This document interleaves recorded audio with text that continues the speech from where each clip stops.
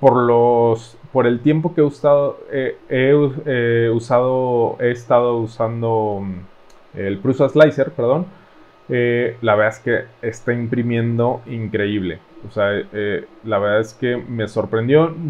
Dudé mucho tiempo porque yo usaba Cura y Simplify 3D y dudé mucho tiempo en cambiar de slicer y todo el mundo me decía, no, es que prueba Prusa Slicer, bla, bla. Y eh, por ciertas razones no lo escogía porque, por ejemplo, en, versiones anteriores los soportes todavía como que les faltaba. Yo veía que los soportes me los hacía mejor, por ejemplo, en Simplify o todavía en Cura y en Prusa Slicer como que le faltaba todavía algo, pero ya en, estas nuevas em, actualizaciones la verdad es que quedé encantado con este slicer. ¿Vale? Entonces, filament overrides lo dejan así. Si tienen algo seleccionado, deseleccionenlo, ¿ok? Esto hay que eh, tener en cuenta que la retracción en esta parte de filament overrides vamos a dejar sin seleccionar nada. ¿Por qué? Porque ya lo seleccionamos en la otra parte, ¿ok? Entonces vamos a dejarlo así, sin seleccionar. Nos vamos a Custom G-Code. Estos así se quedan, tal cual como están aquí, ¿vale? Y en notas y dependencias no vamos a poner nada, ¿ok? Entonces ya tenemos configurado la parte de nuestra impresora, la parte del filamento y ahora vamos a la parte de nuestra impresión, que es una de las más importantes.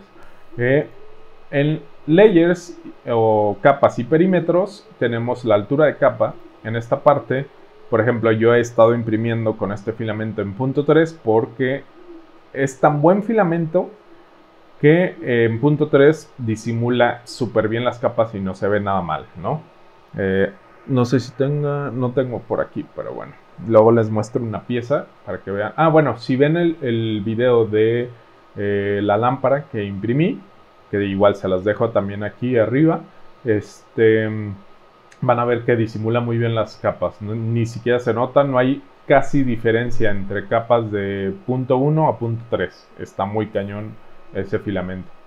Eh, porque no todos pasa lo mismo. Pero bueno, ok, aquí ya sea que ustedes quieran imprimir a una altura de capa de punto .1, punto .2, punto .3 o punto .24, no sé, como ustedes quieran. Aquí es donde ustedes van a, elegir o cambiar los valores de impresión. Y bueno, eh, ¿a qué altura de capa quieren su primera capa? Su primera, sí, su primer layer.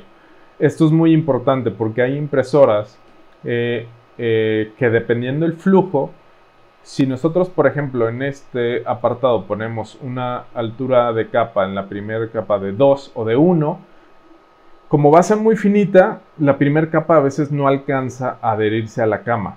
¿okay? Eh, hay que ver qué son las capas. Las capas de impresión simplemente si ustedes tienen una altura de capa de 0.3, entonces la capa va a ser más gruesa. ¿ok? Va a ser de 0.3 milímetros la capa que va a ser. entonces, entre más finita, o sea, 0.1 por ejemplo, pues va a ser más delgadita la capa de impresión. ¿Ok? Es por eso que los tiempos, cuando nosotros hacemos una pieza a una altura de capa de 0.1, los tiempos van a ser mayores. ¿Por qué? Porque como son capas muy finitas o muy delgadas, pues le va a tomar más tiempo hacer una pieza.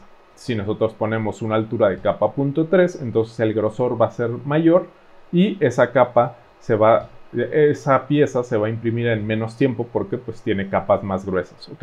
Entonces, la primera capa yo les recomiendo, salvo dependiendo sus impresoras, yo les recomiendo que siempre la pongan en punto 3 para que la primera capa sea más gruesa y la boquilla quede eh, más pegada o digamos que eh, el filamento quede más grueso y se alcance a pegar a su, a su cama de impresión, ¿vale? Luego, vertical shells en perímetros, yo les recomiendo que lo dejen en 3, ¿ok? Eh, digo, son los, ¿qué son los perímetros? Los perímetros son, los perímetros es esta área, ¿ok? Si se fijan, aquí hay tres perímetros, 1, 2, 3, si ustedes seleccionan más perímetros, bueno, pues esto obviamente va a tener más, este, más contornos o eso, más perímetros, más, más líneas en esta parte. Si ustedes seleccionan menos, bueno, pues entonces a lo mejor nada más una, pero también eh, tomen en cuenta que va a tener menos resistencia eh, esa, esa pieza, ¿vale? Entonces, esos son los perímetros. Ahorita los vamos a dejar en 3 y también en los perímetros eh, horizontales, que son por ejemplo las tapas, tanto la primera como la última. Yo aquí lo tengo como 4 y 3. Es más que suficiente, pueden dejarlo en 3 y 3.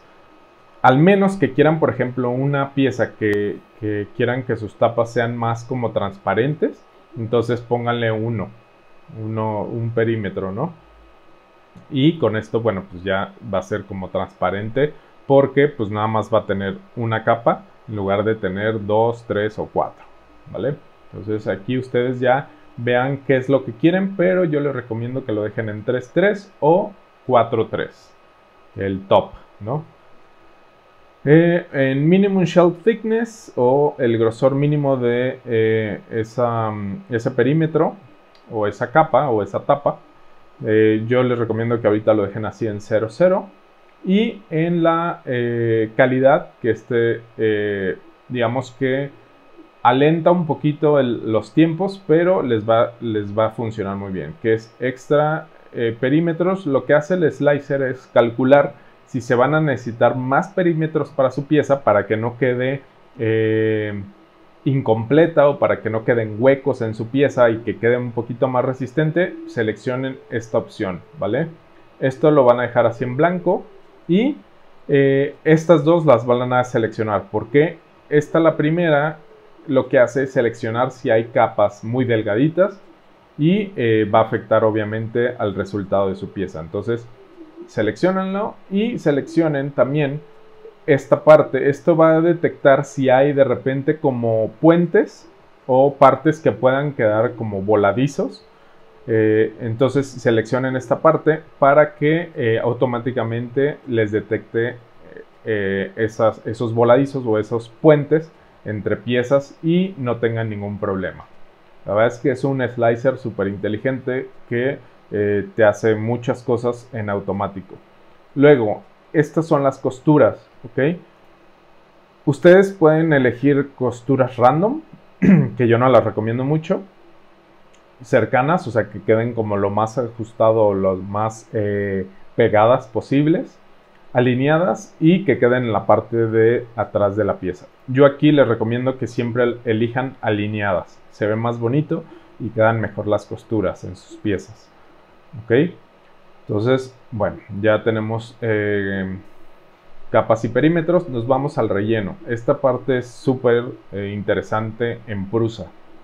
El relleno, digo, de todas maneras, mm, en el tercer capítulo vamos a ver un capítulo eh, de rellenos y soportes estrictamente, ¿ok? Entonces, digo, esto va a ser un poquito más rápido, pero en sí, bueno, va a ser la densidad de su relleno qué densidad quieren, ya sea 0 o 100, dependiendo la pieza que ustedes estén imprimiendo. Si es algo de decoración, pues les recomiendo que el relleno sea más bajo, ¿no? Si es algo que va a tener alguna resistencia, si van a colgar algo, si necesitan que tenga más eh, dureza, por ejemplo, eh, que no sea hueca, entonces, bueno, pues aquí se van a niveles más altos o porcentajes más altos, como el 100%, por ejemplo. Eh, el patrón de relleno. Prusa Slicer tienen, tiene muchísimos patrones de relleno, que eso los vamos a ver en el capítulo 3 de, este curso. Pero bueno, eh, tiene rectilíneo, este, alineado rectilíneo, en grid o como parrilla, ¿no? este, que son como cuadrados, triángulos, estrellas, eh, cubos, eh, algo así como concéntrico, como panales de abeja, que también están súper interesantes esos rellenos por si quieren eh, tener más resistencia en sus piezas.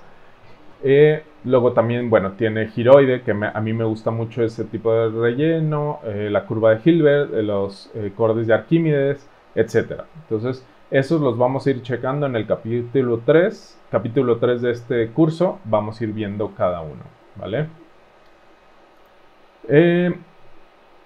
Luego, bueno, tenemos este length eh, de, eh, como la distancia de esto del relleno. Vamos a dejarlo así tal cual como está. Estos no los vamos a mover para nada. 650. Y luego el top fill y el bottom fill pattern o el patrón de, relleno tanto de la capa, eh, de la primera capa y de la capa superior, o sea, como las tapas, por así decirlo, lo vamos a dejar en monotonic. Este monotonic es eh, un nuevo, una nueva opción que incorporaron en, nuestro, en estas actualizaciones que lo que hace es crear un relleno monótono, tal como lo dice su nombre, en, tanto en la, en la capa inferior como en la capa superior. Esto lo que hace es que sea más parejo el relleno, ¿ok? Y al ser más parejo el relleno, pues obviamente todas las siguientes capas pues van a estar soportadas en un, en un, eh, en un relleno más eh, eficiente, por así decirlo, ¿ok? Ustedes pueden seleccionar rectilíneo, alineado, concéntrico, pero eh, la capa, la, pieza no va, no va, a quedar tan lisa, ni va a quedar tan, tan estable como si ustedes eligen mono, eh, monotonic o monótono, ¿vale? Luego, otra súper opción que, incluyeron en estas nuevas actualizaciones, que es el planchado o el ironing. A mí me gustaba mucho el Ironic en cura, lo hacía súper bien, la verdad es que no tenía problemas. Pero en Prusa, la verdad es que está, eh, eh, es impresionante el acabado que deja en las piezas. Entonces, si ustedes eh, quieren una pieza que tenga excelente acabado entre sus, sus capas lisas, por así decirlo, pues elijan esta opción. Ojo, se va a tardar un poquito más la pieza en imprimir, pero sí, pero vale la pena. Por ejemplo, en llaveros, ahí está otra vez el, el VIP de mi impresora de la Aquila que ya va a terminar. Ok. Em, bueno, si ustedes están imprimiendo llaveros o piezas que tienen como capas superiores eh, que, que quieren que quede muy lisa, entonces vamos a habilitar esta opción y aquí tiene estas opciones que si nosotros queremos que sea en todas las superficies superiores eh, de nuestra pieza, o si queremos que nada más sea en la última eh, capa de nuestra pieza, o sea, en la superficie, eh, en la última superficie, por así llamarlo, o si quieren que sea en todas las superficies sólidas de nuestra pieza, que todas, a lo mejor está escalada nuestra pieza y queremos que en todas haga ese ironing, pueden seleccionar este, de todas.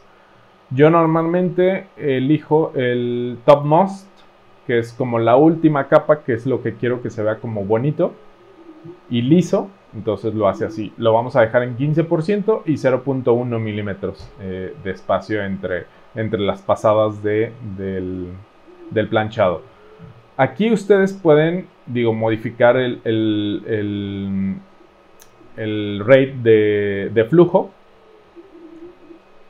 yo les recomiendo que lo dejen así en 15% y ya sobre eso van, van viendo. Pero eh, a mí me ha funcionado súper bien en todas. Si sienten que de repente eh, cuando está haciendo el, ironing hace un clack, o sea, como que, eh, como que se atasca el filamento, a veces pasa, no se preocupen, no se va a atascar. Eso lo hace porque, bueno, hace el planchado lo que hace es, no está saliendo filamento, pero eh, se calienta la boquilla. Entonces lo que hace es pasar la boquilla por toda la capa para que con ese calor empiece a plancharlo.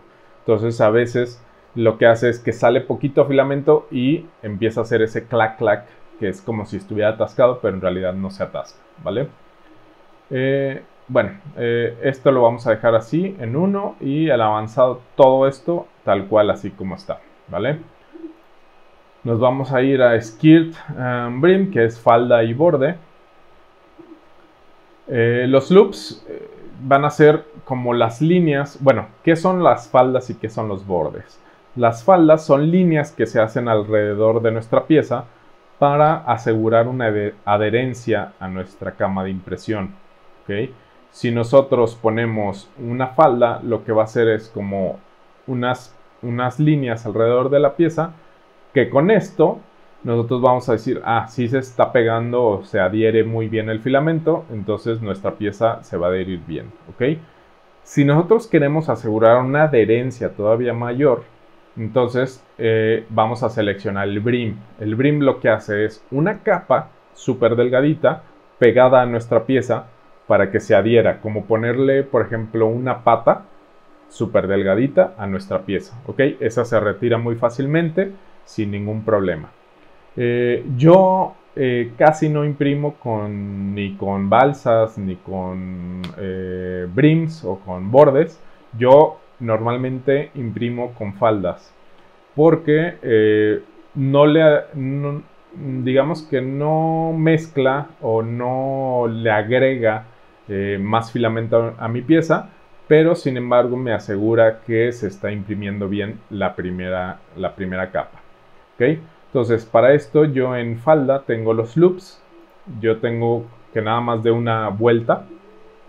Y a qué distancia quiero las, las líneas de mi pieza, yo le puse 6 milímetros, pero ustedes pueden hacerlo más pegadito o más alejado. Eh, la altura, pues le puse 1, eh, una capa, y lo demás así lo dejamos. Pero ustedes aquí pueden modificar como ustedes quieran, si quieren que esté, que dé más vueltas, más loops. Entonces, por ejemplo, le ponen 3, entonces va a ser 3 líneas. 1, 2, 3 y a 6 milímetros de nuestra pieza. ¿ok? Luego, eh, el material de soporte. Esto también es súper interesante. Esto lo vamos a dejar en... Si ustedes quieren generar material de soporte, bueno, pues habilitan esta opción. Si no van a usar soportes, entonces la quitan, ¿ok? Eh, bueno, este de auto eh, de generación de soportes automáticos lo van a dejar activado porque cuando ustedes tengan o habiliten soportes les va a ayudar mucho esta opción a habilitar soportes automáticos que van a funcionar mejor que cualquier otro, ¿vale? Eh, en Raft lo vamos a dejar así, Raft no lo usamos, que es la, balsa. Al menos que ustedes quieran una balsa para, para, para sus piezas, para que quede mejor adherida. Bueno, pues aquí ustedes ya eligen cuántas capas quieren en su, en su balsa, ¿vale? Eh, bueno, esto lo dejamos así.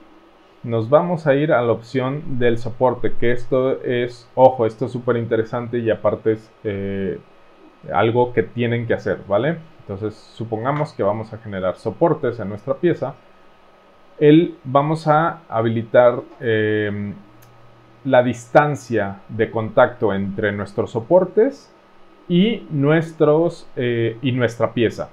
Creo que por default esto les va a aparecer como 0.2. Yo les recomiendo que lo dejen así como yo lo tengo, que es 0.25. Es la mejor configuración que me, ha, que me ha funcionado y créanme que hice varios intentos, varias eh, pruebas para ver cuál era la mejor configuración de soportes eh, en, mis piezas, cómo retirarlos fácilmente y eh, que no generara como, como de repente esas, esa mala calidad en mis piezas, ¿vale? Entonces, el, el patrón de mis soportes lo puse en rectilíneo, ustedes también pónganlo en rectilíneo. Esta parte, eh, actívenla. Esto lo que hace es crear como una capita alrededor de, de, nuestros soportes. Y entonces va a ser el soporte, esa capa y luego nuestra pieza. Lo que va a hacer es que la parte de abajo que quede en contacto con los soportes no quede tan fea. que quede un poquito más lisa y que no, no, no queden hilos o cosas así. Entonces seleccionen esta opción. Luego el espaciado del patrón lo ponemos en 3 milímetros, esto es importante. Luego el ángulo en 0 y las, las capas de la interfase en 4. Esa va a ser la capita que va a quedar entre los soportes y nuestra pieza. ¿ok? Entonces déjenlo en 4 y eh, también el espaciado va a ser 0.2, ¿vale? Luego los loops los dejamos así, sin, sin este, seleccionar. Y aquí sí, em, vamos a seleccionar esto, el soporte desde la base. Y la separación, esto también es importante, la separación, la mejor que me ha funcionado a mí es de 75%. Creo que por default les aparece un 50% o algo así pero déjenlo en 75%. Créanme, les va a funcionar mucho esta configuración. Luego aquí en Down Support Bridges eh, lo pueden seleccionar. Esto es como para cuando hay eh, puentes, este, pues que no, que no genere como esos, esos soportes, al menos que ustedes lo necesiten, bueno, pues lo activan o lo desactivan. Esto lo vamos a dejar así desactivado. Pero eh, tomen nota de estos, de, de esta configuración de soportes, ¿vale? Úsenla, les va a servir muchísimo. Ok, ahí se los dejo un rato para que le tomen captura o para que lo anoten y lo hagan tal cual como yo lo tengo. Ok, luego nos vamos a la velocidad. Esto también es parte importante. Yo el parámetro que les recomiendo que le muevan de esto que está aquí es solo el primero, ¿vale? Em, dependiendo su impresora, va a, mm, a soportar las velocidades, dependiendo eh, que también la tienen, eh, que también armada está, el mantenimiento, etcétera, ¿no? Hay muchas como muchas cosas que pueden ahí eh, influir. Yo, en, por ejemplo, en estas impresoras, en la ET5 Pro, la dejo en 80, 90 milímetros, más o menos, en, el, en la velocidad. La 8 Plus igual, y en la Kila, como ahorita estoy haciendo pruebas, yo la dejo en 60, entre 60 y 80. ¿Ok? Pero ustedes, si no, no conocen, por ejemplo, si ustedes tienen una Ender 3, yo les recomiendo que la dejen en 60. En 50, 60 es una excelente velocidad que les va a garantizar una, eh, una buena impresión, ¿vale? O buenas impresiones. Entonces aquí ustedes pueden modificarla, ya sea 80, 60, lo que ustedes quieran. El travel lo vamos a dejar en 130 y eh, la, velocidad de la primera capa en 30 para asegurar que no sea tan rápido y que tenga mejor adherencia a nuestra cama. Todo lo demás lo vamos a dejar así como está. Y eh, bueno, entonces ya tenemos configurado también nuestra velocidad y nuestras, eh, nuestro travel. En múltiples extrusores, bueno, pues yo nada más tengo uno en, mis, em, en mis impresoras. Si ustedes tienen más de uno, bueno, pues aquí ustedes pueden configurarlo, ¿vale? Si ustedes eh, tienen, por ejemplo, dos extrusores y quieren hacer una torre, una white tower o torre de purga, aquí pueden seleccionarla y les va a hacer, eh, dependiendo los valores que ustedes tengan aquí, les va a hacer esa torre de purga. Todo lo demás avanzado eh, output, notas independencias, lo vamos a dejar tal cual como está. Entonces, bueno, hacemos un repaso. Ya tenemos configurado nuestra, nuestros settings o nuestra configuración de la impresora. Ya tenemos de filamento, ya tenemos de impresión, o sea, todos los valores de impresión. Y nos vamos a Platter o este, la cama de impresión. Así es como nos va a aparecer, ¿vale? Yo aquí tengo esta pieza. ¿Cómo nos vamos a mover en la interfaz? Bueno, yo aquí estoy eh, haciendo presión en el clic izquierdo de nuestro mouse, en el botón izquierdo de nuestro mouse, lo dejamos apretado y movemos el mouse. Entonces podemos rotar, ¿ok? Con la ruedita del centro del mouse nos vamos hacia, hacemos zoom in, zoom out, ¿ok? Entonces, cuando giramos la ruedita hacia atrás, hacemos zoom out. Cuando giramos la ruedita hacia adelante, hacemos zoom in. Luego, si queremos hacer un drag o un movimiento de la cama, dejamos apretado el clic derecho del mouse y movemos el mouse, ¿vale? Ahí está. Igual rotamos entonces con el izquierdo, dejándolo apretado, y con el derecho hacemos un drag. Con el la ruedita hacemos zoom in, zoom out y ahí está, ¿ok? Si nosotros queremos mover esta pieza, nos vamos a ir aquí o con la tecla M vamos a poder mover nuestra pieza sobre la cama de impresión. ¿Cómo la podemos escalar? Con seleccionamos primero nuestra pieza, vamos a escalar y podemos escalar arrastrando, ¿vale? Ya sea hacia arriba, hacia abajo, si queremos modificar nuestra pieza. O este, hacia los lados, ¿no? En horizontal. No se lo recomiendo, pero sí les recomiendo si ustedes quieren escalar su pieza, pues así. ¿Cuál es la tecla rápida? La S. Ok, ahí está S y podemos escalar arrastrando nuestro mouse. En la parte derecha, si se fijan, tenemos aquí la medida. La escala, por ejemplo, aquí yo le voy a poner 100% y así es eh, el tamaño de la pieza original, que son 57.55, 63 en Y y 20 de altura en Z, 20 milímetros, ¿ok? Si queremos verlo en pulgadas, nada más seleccionamos esta opción, ¿vale? Eh, aquí en la parte de arriba nos va a aparecer cómo se llama nuestra, nuestra pieza, ¿ok? Aquí la seleccionamos y aquí, bueno, tenemos todos los valores que hace rato... Eh, configuramos, ¿vale? Tenemos cómo se llama nuestra impresora, tenemos el filamento que eh, modificamos hace rato, la configuración y la impresora. Si nosotros configuramos diferentes eh, filamentos, entonces aquí va a ser donde podemos escogerlos, ¿vale? Para no irnos hasta acá y, volver a configurar todo, pues aquí los vamos a ir seleccionando. Y también si tenemos muchas impresoras o, varias impresoras, aquí es donde podemos ir escogiendo nuestras impresoras.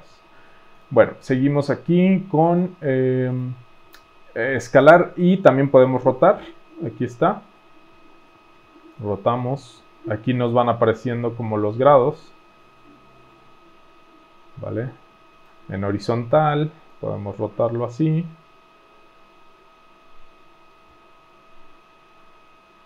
y podemos rotarlo en vertical. La tecla rápida para rotar es la R. Ahí está. Y esta también, esta opción es interesante porque podemos eh, rotar las caras. Por ejemplo, si yo quisiera imprimir esta pieza eh, con esta cara pegada a la cama, entonces nada más selecciono esto. Y ahí está. ¿vale? O, por ejemplo, en esta pieza, para que no me genere soportes, si yo la pongo así,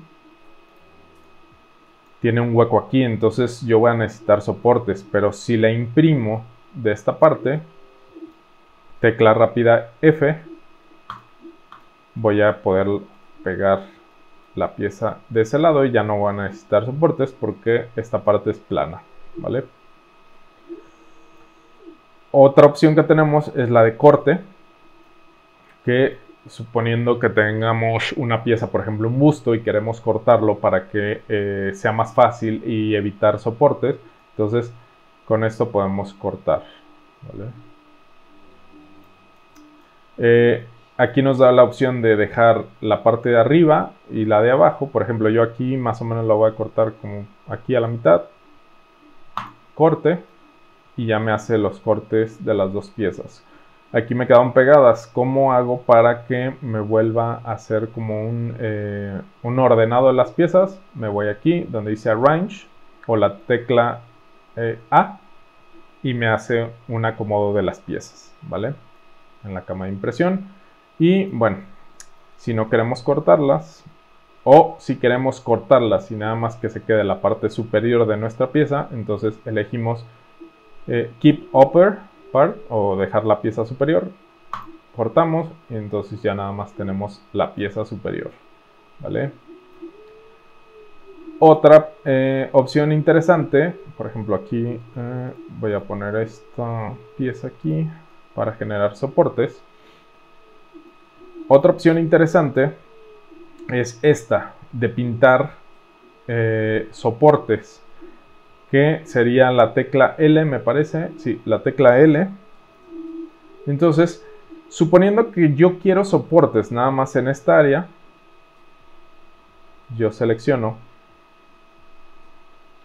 y ahí tengo, ahí solo en la parte pintada en azul se van a generar soportes. Si yo quiero borrar, eh, aquí, si quiero borrar eh, la parte de aquí porque me pasé, entonces aprieto control y con el mouse voy arrastrando y la parte roja se va a eliminar. ¿vale? Ahí está. Entonces estoy pintando ahí los soportes. Y digo, de todas maneras esto lo vamos a ver más detallado en el capítulo 3, pero bueno, algo rápido sería así. Y aquí elegimos que nos haga los soportes nada más en Enforcers. Hago el slice y ahí está. Nada más se hizo en esa parte, ¿ok? Los soportes, donde los pinté. Si se fijan, esa parte verde oscura es la parte de la capa que les, que les mencionaba hace rato en Interface. Esa es la parte para que queden los, eh, digamos que la capa donde se soporta quede más bonita, no quede tan, eh, digamos, a veces queda como unos hilos o cosas feas, como rugoso. ¿Ok? Ahí está. Bueno, nos regresamos al preview. Ahí están pintados los soportes. Y otra eh, opción es, por ejemplo, aquí no sé si se veían las costuras. Vamos a las costuras. Eh, por ahí están. Por ejemplo, aquí, aquí veo unas costuras. ¿no? Y en la parte de afuera no logro verlas. Pero bueno, eh, son costuras alineadas, me parece que aquí están. Aquí van a estar a lo mejor. Pero suponiendo que nosotros queremos que las costuras con la tecla P o eligiendo eh, esta parte, esta opción, o con la tecla P de Pedro, nos va a dar igual. Vamos a poder pintar, por ejemplo, yo quiero que las costuras estén aquí. Entonces nos vamos a Slice y las costuras van a quedar ahí. No sé si las alcanzan a ver, ahí están. Todas esas son las costuras. Ahí están. ¿Ok? Pero suponiendo que nosotros no queremos costuras ahí, entonces, por ejemplo, yo quiero que eh, las costuras estén en cualquier lado menos aquí. Entonces con control voy a pintar aquí. Aquí puedo elegir el tamaño más grande, más pequeño, si quiero esfera o si quiero círculos. Yo le pongo aquí esfera y ahí está. ¿Vale?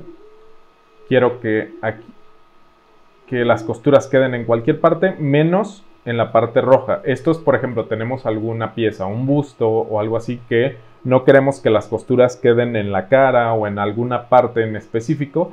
Bueno, entonces elegimos esta opción. le damos slice y entonces me va a hacer las costuras en cualquier otra parte menos en la parte que yo elegí en color rojo. ¿Vale? Ahí está.